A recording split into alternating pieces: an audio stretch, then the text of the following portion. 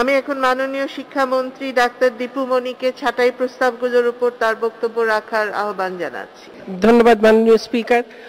আসলে দীর্ঘ আলোচনা হচ্ছে, আমার হয়তো বলার সময়টা সংক্ষিপ্ত, সেই কারণে সকলের হয়তো সব প্রশ্নের আলাদাভাবে উত্তর দেওয়া সম্ভব হবে না, কিন্তু মোদ্দা কথা আমরা এতক্ষণের আলোচনায় যে মাননীয় সংসদ সদস্যরা যে বিষয়গুলো উত্থাপন করেছেন সেগুলোকে খুব সংক্ষেপে বলবার চেষ্টা করব। প্রথমেই বলি যে শিক্ষা প্রতিষ্ঠান বন্ধ নিয়ে মাননীয় সংসদ সদস্য জনাব ফিরোজ রশিদ সাহেব যে কথাটি বলেছেন অধিকাংশ ক্ষেত্রেই আমি আমার বাইরে বের হতেই হয় কাজের জন্য নানা সময় এবং সেক্ষেত্রে যখনই কোনো অভিভাবকের সঙ্গে আমার দেখা হয়, যাদের সন্তানেরা স্কুল, কলেজে পড়ছে তাদের সঙ্গে যখনই আমি কথা বলি, তাদেরকে যখন আমি জিজ্ঞাসা করি যে, এখন অনেকেই বলছেন, কেউ কেউ বলছেন, অনেকেই বলছেন যে, খুলে দেন। এখন খুলে দিলে আপনি আপনার সন্তানকে পাঠাবেন কিনা? তাদের এক বাক্যে কথা, এখন পাঠাবো না। এই করোনার মধ্যে আমার সন্তানকে আমি মেরে ফেলার জন্য পাঠাতে রাজি না। এক এক বাবা মায়ের এক এক ধরনের এক্সপ্রেশন থাকে এক একজন বলেন কিন্তু এটা মনে রাখতে হবে যে, আমাদের বিজ্ঞানকে নিয়ে চলতে হবে। বিজ্ঞানকে অস্বীকার করে কিন্তু আমরা একটা করোনা অতিমারির মধ্যে, যেটা বৈশ্বিক সংকট, তার মধ্যে আমরা বিজ্ঞানকে অস্বীকার করে চলতে পারি না। বিজ্ঞান যেখানে বলছে, শতকরা পাঁচ সংক্রমণের হার বা তার নিচে না নামা পর্যন্ত শিক্ষা প্রতিষ্ঠান। সেগুলো খোলা, স্বাস্থ্যসম্মত নয়, বিজ্ঞানসম্মত নয়। সেখানে এখন যখন দেশে হার প্রায় চব্বিশ ভাগ এবং কোন কোন জেলায় পঞ্চাশ বা তার ঊর্ধ্বে সেই সময় শিক্ষা প্রতিষ্ঠান খোলার দাবি, আদৌ কোনো যৌক্তিকতা আছে কিনা এটি অবশ্যই ভেবে দেখার প্রয়োজন আছে, কারণ এই সংসদ এই জাতির সম্পর্কে সিদ্ধান্ত গ্রহণ করে। দ্বিতীয় কথা হচ্ছে, সারা বিশ্বের যদি অভিজ্ঞতা দেখি ঢালাও কথা অনেক কিছু বলা যায়, কিন্তু বাস্তবতা এটি যে বিশ্বের একেবারে উন্নত দেশগুলো, যারা বিভিন্ন সময় খোলার চেষ্টা করেছে, আবার তারা খোলার পরেই সংক্রমণ বৃদ্ধি পাওয়ায় বন্ধ করে দিতে বাধ্য হয়েছে। উন্নত দেশগুলো, যেখানে ক্লাস সাইজ কুড়ি, পঁচিশের বেশি নয়, আর আমাদের এখানে দেশের একেবারে যে শিক্ষা প্রতিষ্ঠানগুলোতে ভর্তির জন্য বাবা মায়েরা উন্মুখ থাকেন, সেই সব শিক্ষা প্রতিষ্ঠানে দেখবেন শিক্ষার্থীরা গায়ে গায়ে লেগে বসা থাকে। সেইখানে খোলার প্রশ্নটা একেবারেই অবান্তর। তৃতীয়ত হচ্ছে পাবলিক পরীক্ষাগুলোর কথা। পাবলিক পরীক্ষা বিশ্বের বহু দেশ, এমনকি উন্নত দেশগুলো, তারা পাবলিক পরীক্ষাগুলো বাতিল করেছে। বাতিল করেছে, কোন কোন জায়গায় প্রেডিক্টেড গ্রেডস দিচ্ছে। আমরা সেখানে কি করছি? আমরা দু হাজার বিশ সালের এসএসসি পরীক্ষা নিয়ে ফেলেছিলাম। করোনার মধ্যেও ফলাফল প্রকাশ করতে পেরেছি। দু হাজার বিশ সালের এইচএসসি পরীক্ষা পরীক্ষা শুরু হওয়ার ঠিক দু তিন দিন আগে বন্ধ করতে আমরা বাধ্য হই। সেই সময়ে সেই পরীক্ষাটি এরপরে আমরা তাদের এসএসসি এবং জেএসসির রেজাল্টের ভিত্তিতে আমরা সেই রেজাল্টগুলো দিয়েছিলাম। এবং আমরা সেই রেজাল্ট দেবার আগে আমরা যখন সব ট্যালি করে দেখি, তখন তার আগের পূর্ববর্তী তিন বছরের এইচএসসি রেজাল্ট তাদের রেজাল্টের সঙ্গে তাদের জেএসসি এবং এইচএস এসএসসি পরীক্ষার রেজাল্ট সেটিকেও দেখে দেখেছিলাম। সেই অনুযায়ী তাদের এইচএসসিতে যেই রেজাল্ট হয়েছে, আমাদের এই রেজাল্ট দিয়ে আমরা যে দিয়েছি, তা একেবারে সম্পূর্ণ সাজুজ্যপূর্ণ অর্থাৎ এই শিক্ষার্থীরা পরীক্ষা দিলে অধিকাংশ ক্ষেত্রে দু একটি ব্যতিক্রম তো যে কোনো সময় হতেই পারে যে কোনো কিছুতে, অধিকাংশ ক্ষেত্রে এই একই ফলাফল তাদের হতো। কাজেই তারা কেউ ক্ষতিগ্রস্ত হয়নি এবং তারা সব পড়াশোনাও করেছিল। পূর্ণ প্রস্তুতি ছিল। এবছর কি হবে? এবছর আমরা সিদ্ধান্ত খুব শিগগির জানাব। কি পদ্ধতিতে আমরা করব সবকিছু আমরা জানাব। তবে শিক্ষার্থীদেরকে, অভিভাবকদেরকে সবাইকে বলব, উদ্বিগ্ন হবেন না। বৈশ্বিক সংকট চলছে। সেই সংকট মোকাবেলায় মাননীয় প্রধানমন্ত্রীর নেতৃত্বে সকল ক্ষেত্রে যেভাবে আমরা সিদ্ধান্ত নিচ্ছি, একইভাবে শিক্ষা ক্ষেত্রে এটি মাননীয় প্রধানমন্ত্রীর সর্বোচ্চ গুরুত্ব দেওয়া সেক্টর একটি। সেখানে অবশ্যই আমরা প্রজ্ঞা এবং সমস্ত রকমের আমাদের যা বুদ্ধি আছে, যা কিছু আছে, জ্ঞান আছে, তার সবকিছু সর্বোচ্চ প্রয়োগ করে আমরা সিদ্ধান্ত নেব যাতে আমাদের শিক্ষার্থীদের শিক্ষা জীবন সারা বিশ্বেই ব্যত্যয় ঘটেছে, আমাদের এখানেও কিছুটা ব্যত্যয় ঘটেছে। কিন্তু তাদের যেন কোনো দীর্ঘমেয়াদী কোনো ক্ষতি না হয়ে যায়, সেই বিষয়ে আমরা সর্বোচ্চ নজর রাখছি। মাননীয় স্পিকার, আমরা যে জাতীয় কমিটি, পরামর্শ কমিটি রয়েছে কোভিড উনিশ সংক্রান্ত, তাদের সঙ্গেও আমরা তাদের পরামর্শ গ্রহণ করেও কিন্তু আমরা আমাদের সিদ্ধান্ত গ্রহণ করে থাকি। এই যে বিকল্প পদ্ধতিতে আমরা দ্রুত সময়ে পাঠদান শুরু করেছি, সেটি বিশ্বে আর কোথাও এত দ্রুত কিন্তু শুরু করেনি, এমনকি উন্নত বিশ্বেও না।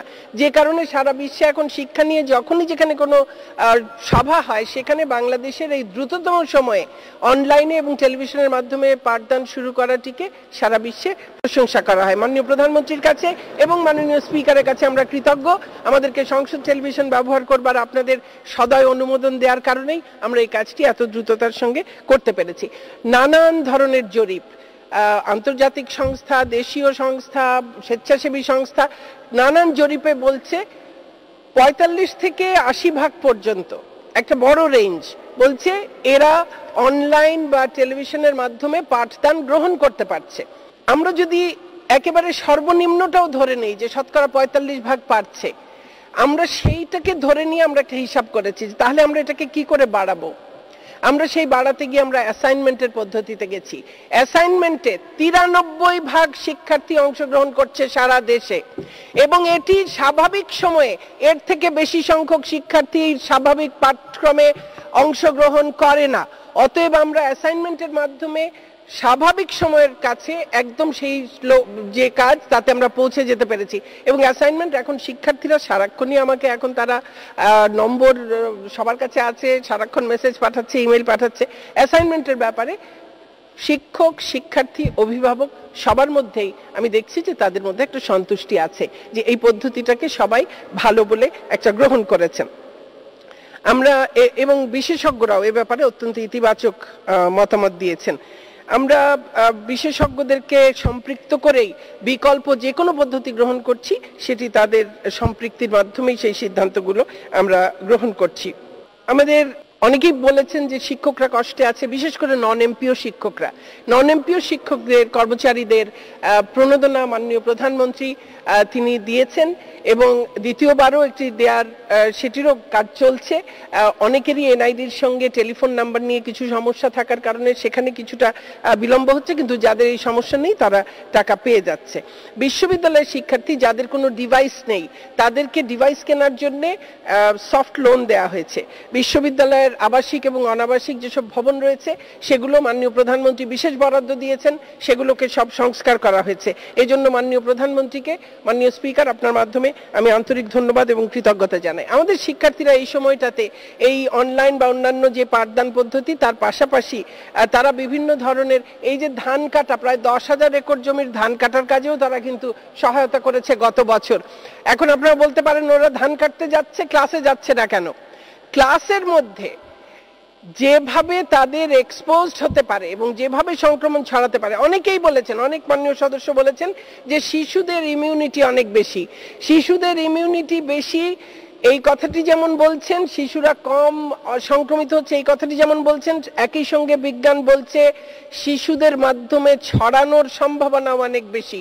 তারা নিজেরা হয়তো আক্রান্ত হয়ে নিজেদের সিমটম অনেক থাকবে না, কিন্তু তারা বাড়িতে গিয়ে তাদের বাড়িতে বাবা, মা সহ আমাদের দেশে অনেক যৌথ পরিবার, বিশেষ করে গ্রামাঞ্চলে, সেখানে তাদের সকলে সংক্রমিত হওয়ার একটা বিরাট বড় একটা আশঙ্কা রয়ে গেছে।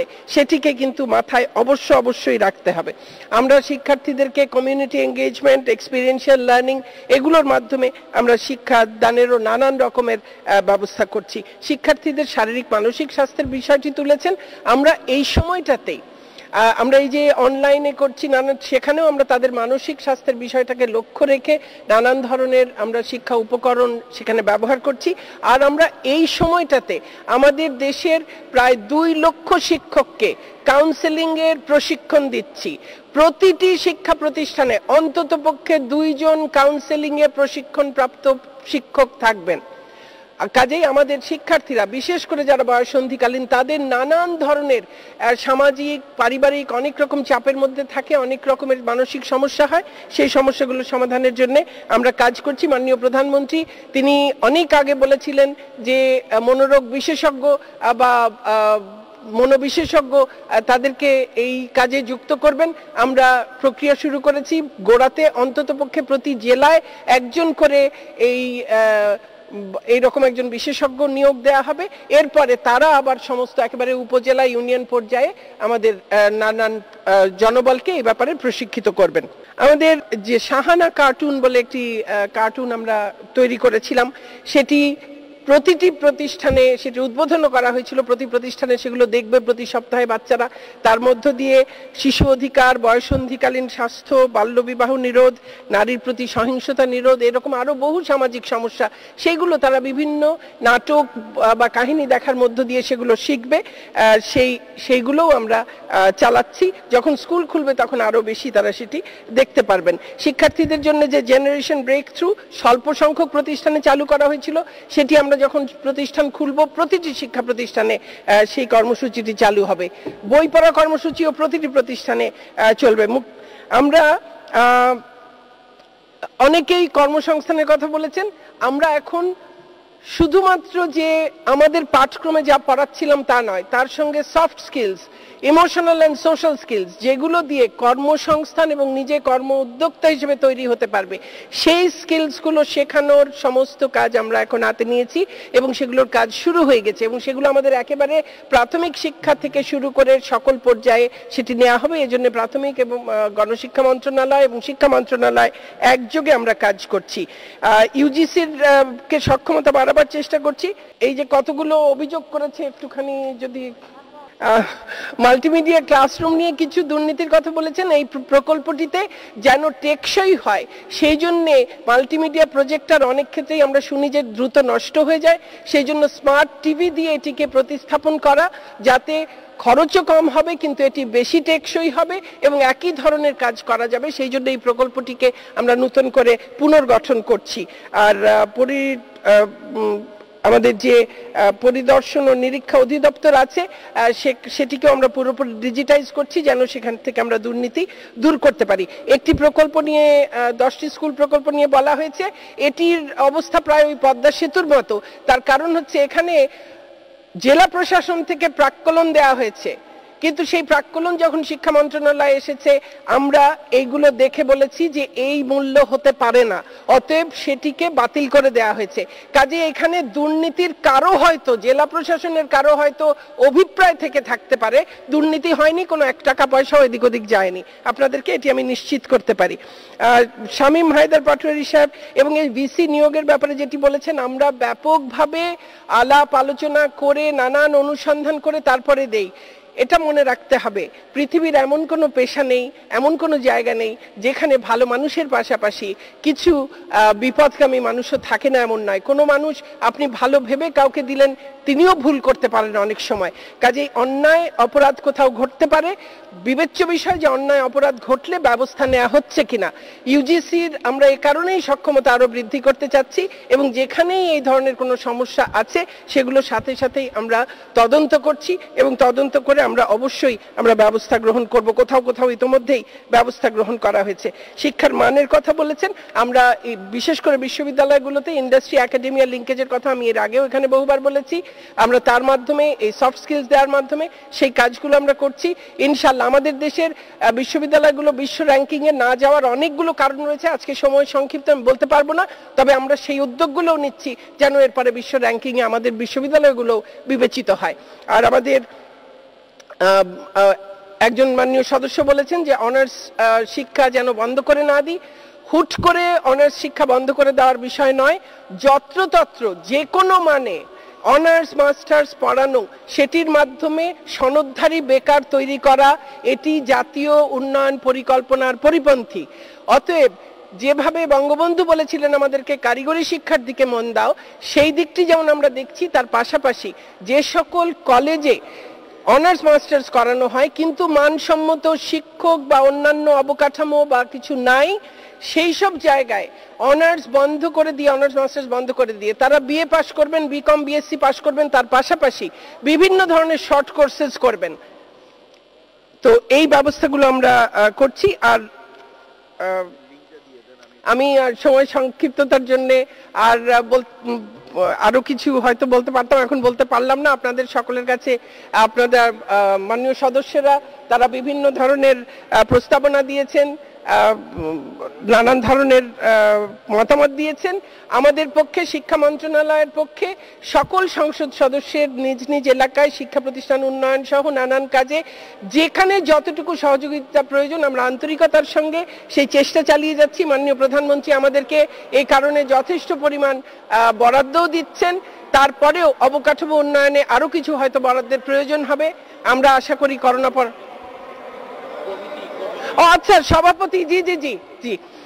এটি মাননীয় আইনমন্ত্রীও এখানে ছিলেন, একটু আগেই কথা হয়েছে। এটি আপিল হয়েছে। আপিল হয়েছে এবং অ্যাটর্নি জেনারেলের সঙ্গেও আমার আলাপ হয়েছে। মাননীয় আইনমন্ত্রী মহোদয়ও কথা বলেছেন। আমরা আশা করি যে এই করোনা পরিস্থিতির মধ্যেও এই যে আইনি কার্যক্রম যে চলছে, তাতে আমাদের এই আপেলটি যখনই উত্থাপিত হবে সেটির শুনানি হবে এবং তাতে অবশ্যই শিক্ষা মন্ত্রণালয় তার যথাযথ দায়িত্ব পালন করবে। কারণ আমি ব্যক্তিগতভাবেও শুধু একজন সংসদ সদস্য হিসেবে নয়, আমি মনে করি বাংলাদেশের একজন নাগরিক হিসেবে যে কোনো নাগরিকের এই অধিকার কেউ কেড়ে নিতে পারেন না। আপনাদের সকলকে অনেক ধন্যবাদ। আমি এর কোনোটি গ্রহণ করতে পারছি না। সকলকে ধন্যবাদ জানিয়ে মাননীয় স্পিকার, আপনাকে ধন্যবাদ, আপনি আমাকে বক্তব্য রাখার সুযোগ দিয়েছেন। জয় বাংলা, জয় বঙ্গবন্ধু। ধন্যবাদ মাননীয় মন্ত্রী।